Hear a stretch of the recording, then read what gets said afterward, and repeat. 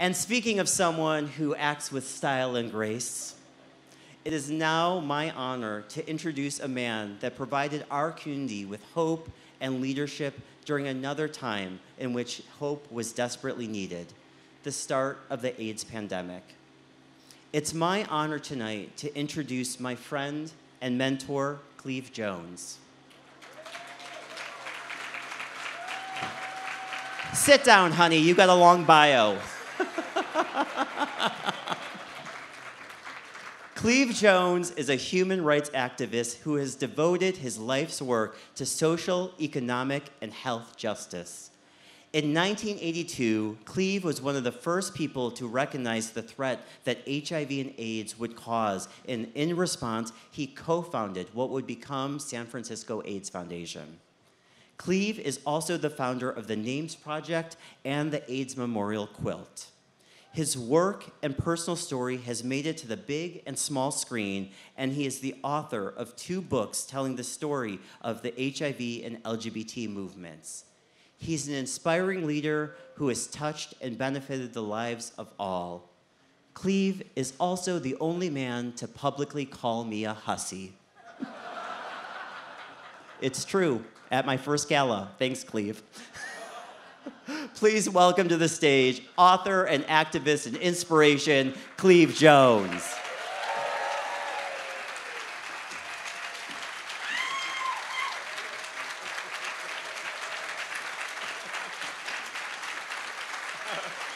Oh, thank you. Thank you. You are beautiful. I've never been to this before, and that's blowing my mind. You're amazing. Thank you. It's such an honor to be part of this tonight. Okay, sit down. Uh, uh, this is really uh, astonishing. This is what a movement looks like. This is what a community looks like, and I'm really genuinely blown away by it. Um, this is June.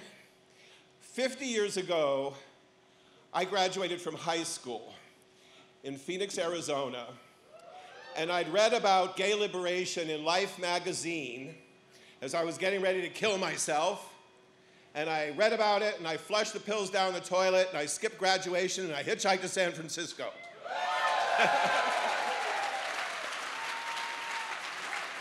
I was amazingly fortunate. I was an idiot street kid, uh, you know, from Scottsdale, and uh, living homeless. I was a homeless kid. I had to do a lot of things I didn't want to do to survive. I know what it's like to fear the police. I know what it's like to be mistreated by your own people. And that's uh, an experience that has stayed with me all through these decades. But I was very lucky. And um, I've been asked to speak a little bit about the origins of the San Francisco AIDS Foundation. In 1980, in the aftermath of the assassination of my mentor Harvey Milk and our dear friend Mayor George Moscone and the riots that followed the verdict, I got hired by the Speaker of the Assembly to work in the California legislature. His name was Leo McCarthy. And he, for unex unexplained reasons, assigned me to the Health Committee. I knew nothing about public health issues, so I subscribed to every possible journal so I could immediately get informed on the issues. One of those was the Morbidity and Mortality Weekly Report published by the Centers for Disease Control out of Atlanta. And it was there in June of 1981 that I read that first three paragraphs describing clusters of gay men in Los Angeles and San Francisco and New York City who were coming down with Kaposi's sarcoma and pneumocystis pneumonia and whose immune systems were being destroyed. I knew something was wrong.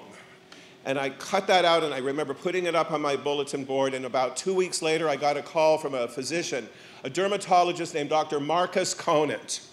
You should applaud every time you hear the name Dr. Marcus Conant.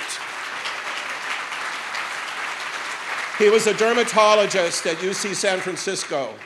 And in his practice, he saw the first, the very first patients who were presenting with Kaposi's sarcoma. And he called me up and he said, I don't know what this is, but I want to take you out to dinner and I want to tell you what I think. He took me to a lovely place called the Zuni Cafe. It's still there on Market Street. and, and he said, I think it's sexually transmitted. I think it's a virus that attacks the immune system. I don't think we're going to find a cure anytime soon. And I think it's ultimately fate, fatal. And he, he said it in such an understated, non dramatic kind of way. And I remember just thinking to myself, my God, we're, we're all going to die then. That was the summer of 1981. By the fall of 1985, almost everyone I knew was dead or dying or caring for people who were dying. And we were on our own. There was no cavalry coming over the hill to save us. We were on our own, whether it was LA or New York or Wichita or Tampa, we were on our own. And it was our community that immediately understood that we didn't just have to fight a virus, we had to fight a parallel epidemic of bigotry and ignorance, fear and hatred. We, we had to fight racism. We had to fight transphobia and homophobia. We had to understand the impact of income inequality on access to health care. We had to learn about harm reduction for drug and alcohol use. We had to learn about incarceration. We had to understand the role of sexism and the way this epidemic affects women and girls. And you would have thought we would have learned an awful lot of lessons. And we did. And you did. But this last two years, it's been really hard for me to see the same mistakes play out again. And yes, the diseases are very different. No question about it. But so much of these two pandemics has been the same. Both emerged with presidents in the White House who failed to perceive the gravity of the situation and then mocked those who were most afflicted. In both pandemics, there was the attempt to say it only happens to them. Calling it a China virus was as despicable as calling it a gay virus and as stupid and as unscientific. Once again, we see angry parents storming school boards, furious about what's being done to protect their children and saying that they know better. And no, don't tell our children the truth.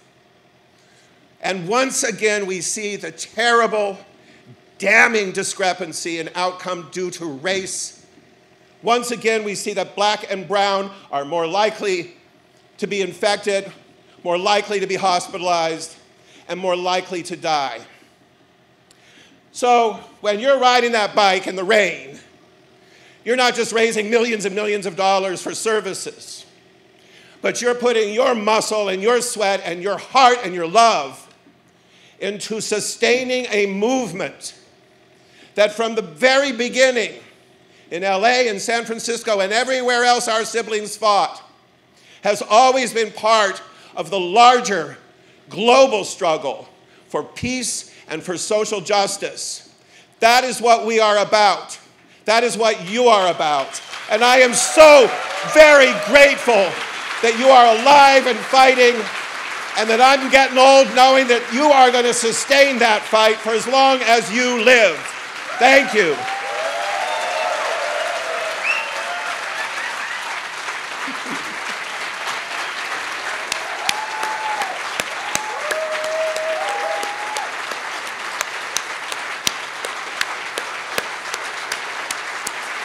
Now, today is historic. You've raised more money than they've ever done before, which is an amazing thing. And we also have some new leadership to celebrate in LA, where that hussy's gone to take over. And in San Francisco, we are very fortunate, I think, uh, to have found a new leader in Dr. Tyler TerMeer. Um, we've only spent a little bit of time together, but every time we do, I like you more, I trust you more, I feel that you are. Uh, I, I, think, you know, when, when Joe took over, there were some problems. And Joe did an amazing job.